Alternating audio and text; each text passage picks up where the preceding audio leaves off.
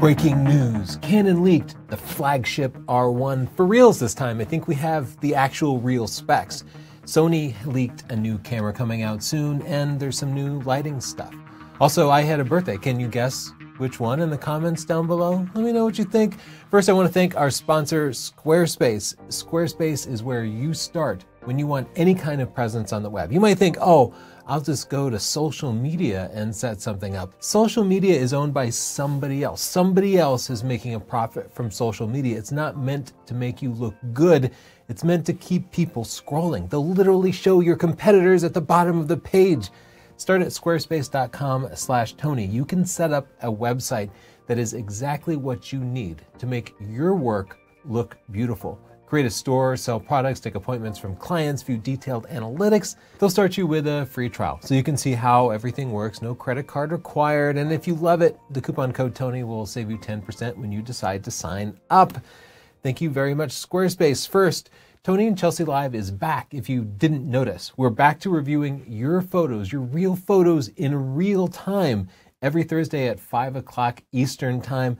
This next video is going to be for people and portraits, so if you're interested in that, go to sdp.io slash submit. You can send your picture in now and then watch the video live. Also in lighting news, Flashpoint, which is the American Adorama version of the Godox brand, just launched a new on-camera trigger for your studios or for your flashes when you're working off camera.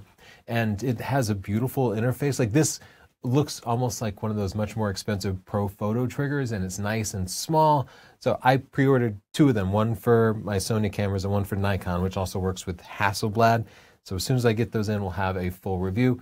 Also, Flashpoint launched a bizarre but cool new flash, which is their new round head flash magnetic system where you can snap stuff on, but it has a second flash on the face of the flash. So you could bounce the light up and still use fill light in the foreground. I think that's a really cool advancement. It's been a while since we saw something interesting in the flash world. Now for some Sony rumors. Sony Alpha Rumors is once again saying that Sony is going to launch an 85mm GM2, which we've also been predicting for more than a year now because their original 85mm GM is it's kind of an old lens. It's not their best lens. It was one of their first. It desperately needs a refresh, and it's coming in spring apparently. Their rumor wasn't sure if it was an f1.4 or faster lens. So Canon and Nikon have 85 f1.2 lenses. It would make a lot of sense if Sony at least matched that, but maybe they'll even go faster and go f1.1. Will it be one of those two, or maybe it will be both, and we'll see a dual launch of 85 millimeters at different speeds? That would be ideal. That comes from Sony Alpha Rumors. Thanks, I appreciate the work that you do. Sony Alpha Rumors is also saying that there's going to soon be Uh, ZV-E10 Mark II. The ZV series of cameras is Sony's E-mount cameras that are video centric. So they don't have a viewfinder. They're for creators like myself who frequently film yourself or film somebody else. The ZV-E10, the original, it's one of the best-selling cameras in the world because it's inexpensive and yet very capable. Supposedly this has the higher megapixel Sony A6700 sensor and it will have some AI features, of course, because that is the buzzword. AI is being crammed into everything. I think some of it might even be programmatic, but nonetheless, it'll help sell stuff. And the price is going to be about 900 bucks. That should be coming in spring.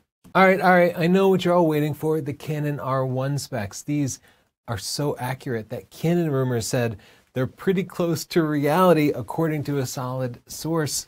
So let's check them out. First of all, of course, there's better autofocus because every new camera is announced with better autofocus, but I do believe it because that's going to be a top priority for Canon. They're also supposedly using AI to improve the auto exposure.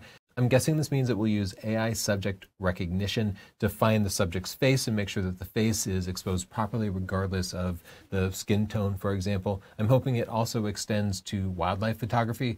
Like right now, if you are taking pictures of a white bird, auto exposure on every camera will pretty much overexpose it a little. If it's a dark bird, it'll underexpose it a little. I just want them to use that subject detection to adjust the auto exposure, and perhaps that's doing it. Here's the controversial part the part that is kind of disappointing.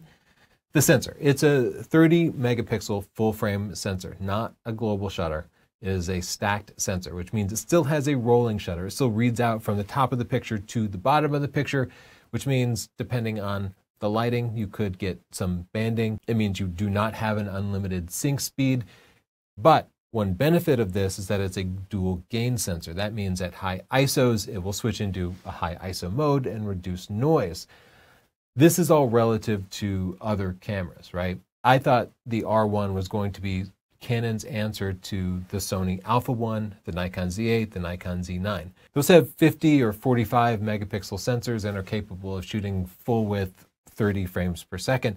They've been available for years, and Canon still doesn't have an answer for that, and apparently the R1 is not going to be that. But high frame rate, high megapixel, that's something wildlife photographers like myself need. It's not something sports photographers really need. And this is made specifically for the upcoming Olympics. So maybe this is a sports centric camera and Canon still has another R5 or some other high megapixel camera that they will give to those of us Canon wildlife photographers that are eagerly awaiting something new. There are some real benefits to it though. It's not a global shutter. It does not have an unlimited sync speed. It does not have instant readout.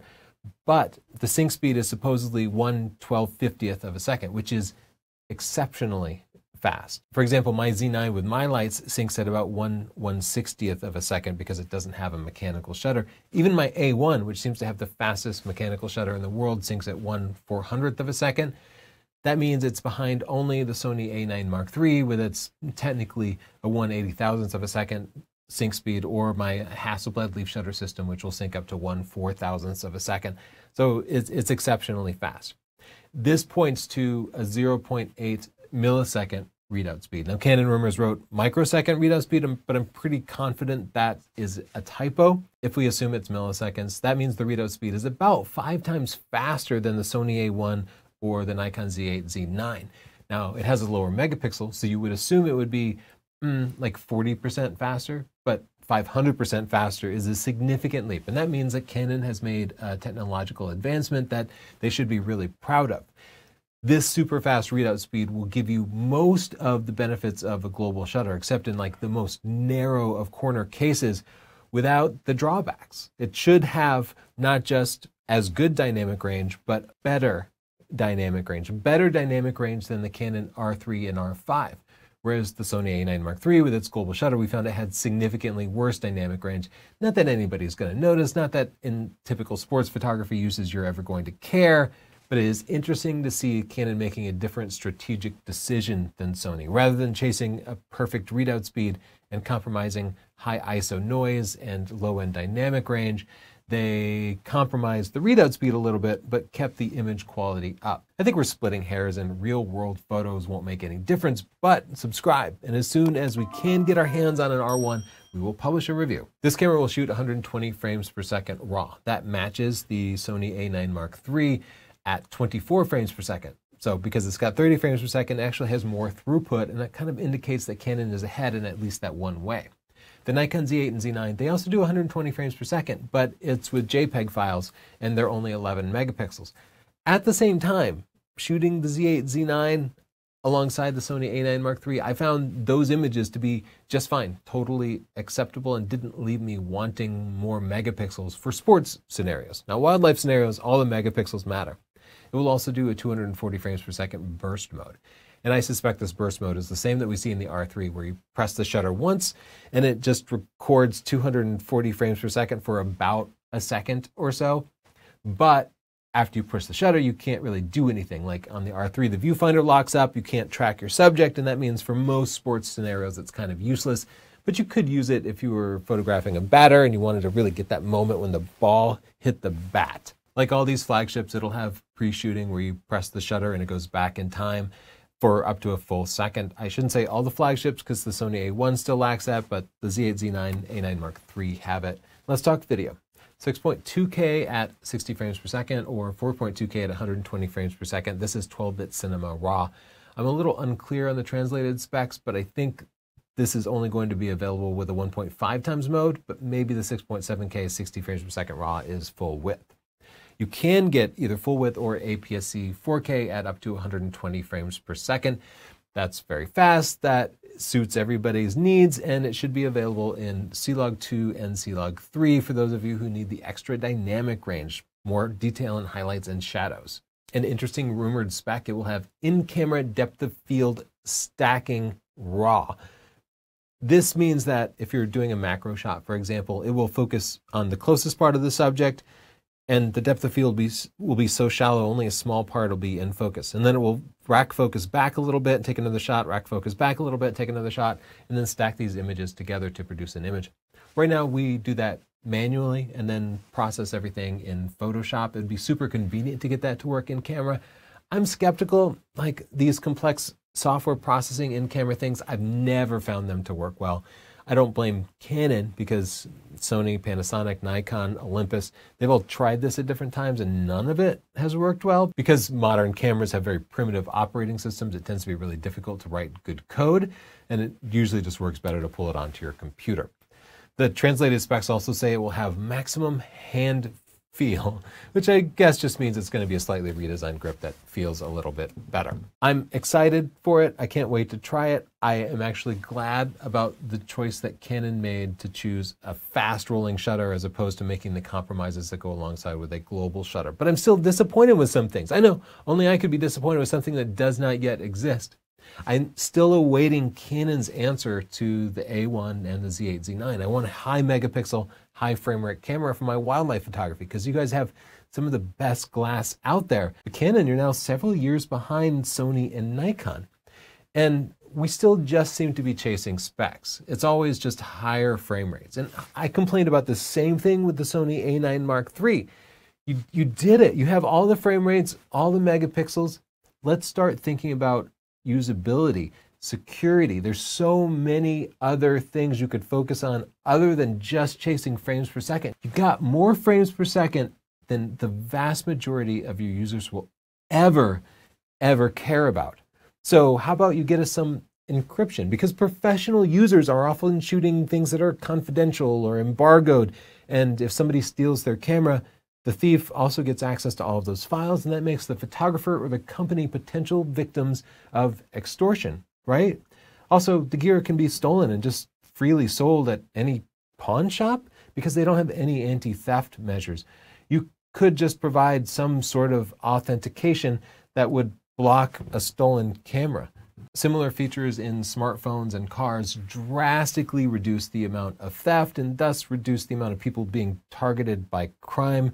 We need some help introducing these features into cameras too because I'm tired of photographers being robbed and I want to see some advancements in those fields and not just more frames per second. The list goes on. Like, I, how about you make a screen I can actually see in full sunlight? How about you give me wireless transfers that are actually quick and stable and reliable and can go to a variety of different destinations instead of just an FTP server. I, I need cellular so I can upload pictures and the, there's a lot that I want. Now that you've got to 120 frames per second, I hope you don't just keep adding more and more frames per second to it. In the comments down below, tell me, are you excited about the new R1 specs or are they a disappointment? Is Canon behind or are they still the technology leader. I'll tell you who leads technology in web hosting, and that's Squarespace. And this is coming from a guy who specialized in web hosting as the internet was being built. That, believe it or not, that was my job for a long time. And I switched my stuff over to Squarespace because I don't want to be the IT guy. I don't want to be the nerd anymore. But Squarespace has amazing designers so many systems administrators keeping everything running smooth and fast, doing all the testing that you need to make sure that your website runs perfectly on computers, tablets, smartphones, TVs, wherever people might view your stuff. You need it to look beautiful. Squarespace designers have taken care of that for you. You can try it out completely free. Check out their different templates, put your pictures in, tell them about you and your business or your personal project at squarespace.com slash Tony. When you love it, the coupon code Tony will get you 10% off. Thanks for sponsoring us, Squarespace. Don't forget to subscribe to see our upcoming review of the Canon R1. Bye.